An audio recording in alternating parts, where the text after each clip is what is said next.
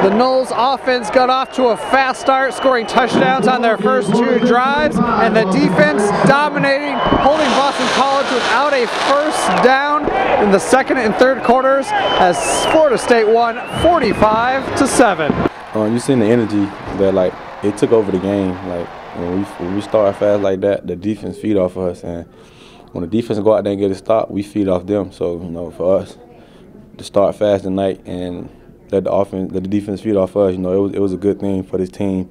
And you know, we played together all three phases of the game, and that, and that just made the the game, you know, go how how we planned it. Yeah, it, it allowed us to you know relax a little bit more, not be as much as tense, you know. So it, it was good, you know, starting fast, and you know, on defense, you know, we did some good things too. I think it was huge. I think it was the next step we needed to take as a defense, as a unit, that, that we could that we could do it as a good team that like BC is, and we just proved to ourselves that we get that we could be that defense. Yeah, you know that was a good um, jump for us, man. You know that energized us, made us want to go out there and play and keep and keep the um, intensity going. Love the way they come out and started the game. Played really well defensively, offensively, very efficient, taking the first two drives down, played really well, got ahead.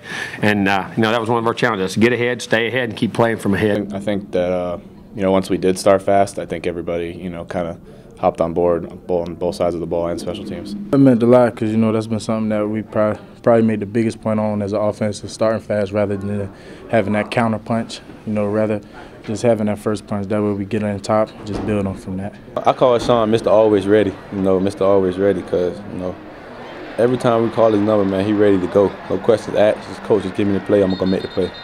So you know, Sean's always ready for his team, and he's he's a big piece, and he's you know he he know it. He's probably has my utmost respect, because you know seeing where he came from, you know, going to the season, you know, having the battle, and then had that uh, fortunately had that injury, but you know his attitude never changed. You know he was always helping Dre, he was always helping me, even on the sideline of practice when I didn't know what to do. So he never was out of it. So I respect him a lot. Yeah, it was nice, obviously, to get out there on senior day and you know do that. And when Deondre got hurt, you know, I just had to be ready. It was nice, you know, you know, being with Freddie for the past four years, and you know, it was kind of a nice, nice way to end it. His parents ought to be the proudest parents in the world.